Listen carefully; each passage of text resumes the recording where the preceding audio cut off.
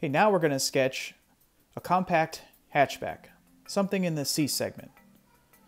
Something like a Ford Focus or a Volkswagen Golf in size. Once again, we're going to draw our main box. We're going to divide up the side into five segments to represent the correct wheelbase, and tire diameter. We're going to draw our X's to represent the wheel centers.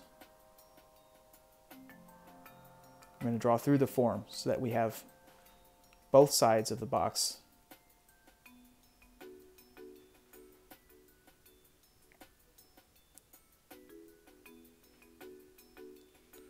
We're going to line our center axis, draw our major axis for the ellipses,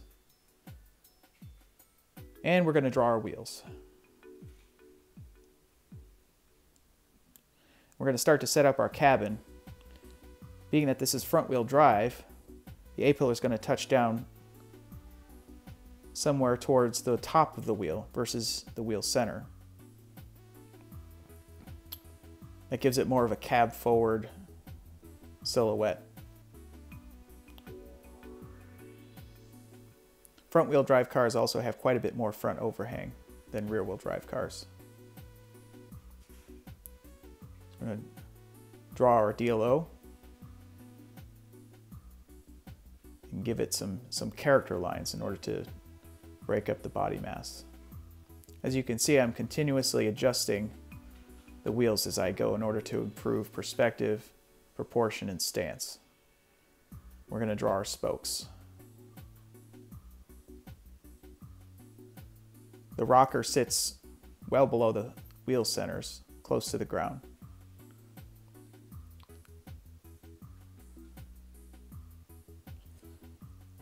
Now we're going to draw our front end. It's going to have a bit of a, a bottom breather look to it with some sinister cat eye headlamps. Something very sporty. This thing could have a powerful turbocharged engine, um, something like an ST or a GTI.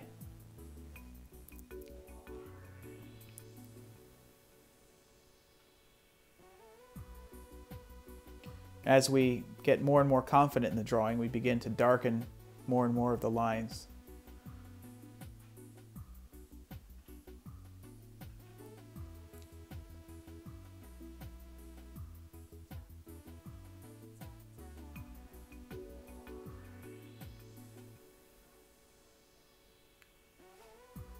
start to draw our door cuts. That helps us define the body side sections.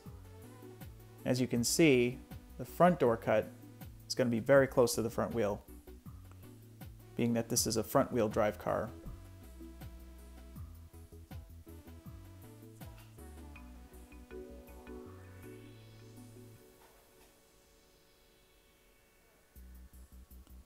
There you have a sexy, powerful, compact C-segment hatchback.